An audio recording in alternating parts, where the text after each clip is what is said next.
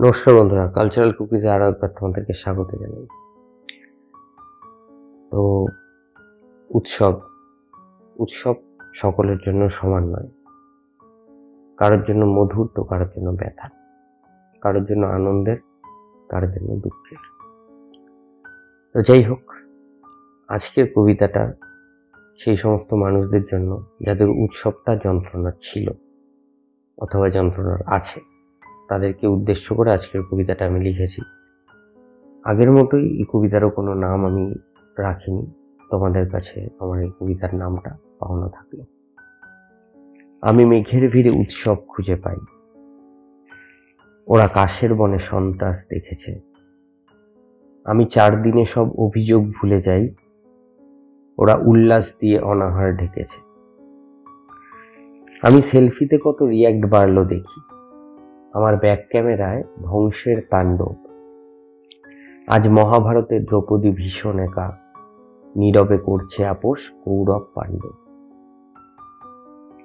আমি মেঘের ভিড়ে উৎসব খুঁজে পাই। ওরা আকাশের বুকে আগুনের ছবি আঁকে। আমি উন্মাদ হয়ে অহংকারকে পুষি, ওরা আহত স্বপ্ন দিব্যি বাঁচিয়ে রাখে। ওদের মনে রাখার অভ্যেসটাই বাজে। আমি ভুলতে পারি তা ভীষণ ভালো কথা। আমি উল্লাস শেষে আবার ঘুমিয়ে পড়ি। ওদের ঘুম কেড়ে নেয় লক্ষ কুড়ির ব্যথা। ওদের ইচ্ছে ভীষণ আমার পথেই চলে। করে উল্লাস মাকে উৎসব সারা দেহে। সেদিন ওরাও বন্ধু ঘুমাবে চিন্তা ফেলে।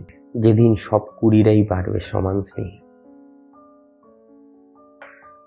তো আমার কাছে এই প্রশ্নের উত্তর নেই। কেন সব কুড়িরা সমান স্নেহে বড় হয় না? সব কুড়িরা কেন সমান পরিবেশ পায় না? সেটা তো যিনি কুড়িদের সৃষ্টি করেন তিনিই বলতে পারবেন। যদি তোমরা বলতে পারো কেন সব কুড়িরা সমান স্নেহ পায় না বা সমান পরিবেশ পায় না, সেটা কমেন্টের মাধ্যমে আমাকে জানো থ্যাংক ইউ